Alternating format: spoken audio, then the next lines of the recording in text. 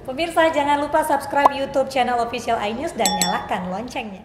Sebelumnya, Kementerian Agama melarang kegiatan takbir keliling. Kendati demikian, takbiran tetap dapat digelar di masjid dengan protokol kesehatan secara terbatas.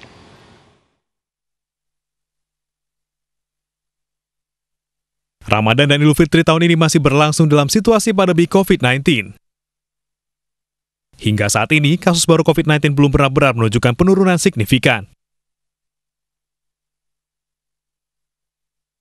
Masyarakat pun diminta tetap waspada, khususnya saat malam takbiran nanti.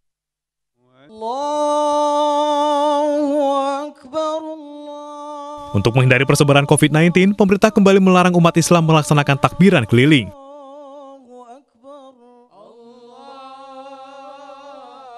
Peraturan tersebut tertuang dalam surat edaran terkait dengan pedoman sholat Idul Fitri.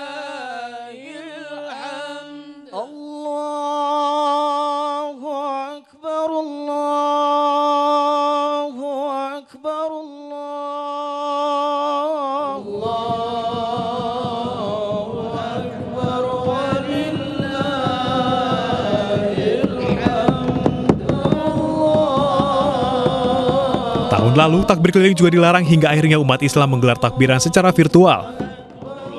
Seperti yang pernah dilakukan pengurus Masjid Istiqlal, takbiran virtual ini menggunakan siaran televisi dan kanal YouTube Masjid Istiqlal. Tim Liputan iNews melaporkan.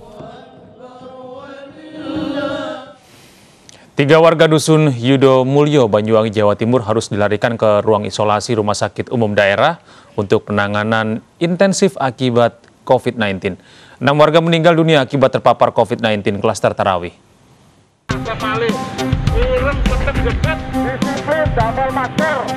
Satgas Penanganan COVID-19 Kabupaten Banyuwangi tidak henti-hentinya melakukan sosialisasi protokol kesehatan COVID-19 terhadap warga desa Ringintelu yang dilanda COVID-19 secara massal yang mengakibatkan enam orang meninggal dunia. Tercatat dalam dua minggu terakhir terdapat 53 orang terpapar COVID-19. Setelah dilakukan tracing dan pemeriksaan terhadap lebih dari 300 orang warga desa yang diduga tertular akibat berkerumun saat melakukan sholat tarawih di salah satu musola di wilayah setempat. Sebanyak tiga orang warga desa Ringin Telu harus menjalani perawatan medis di ruang isolasi Rumah Sakit Umum Daerah guna penanganan medis lebih lanjut. Tercatat tracing sudah dilakukan hampir 300 orang. Itu meliputi eh, jamaah terawih di mana yang bersangkutan ini adalah eh, takmir ya takmir dari musola tersebut. Tapi tracing juga dilakukan kepada lingkup kontak keluarga.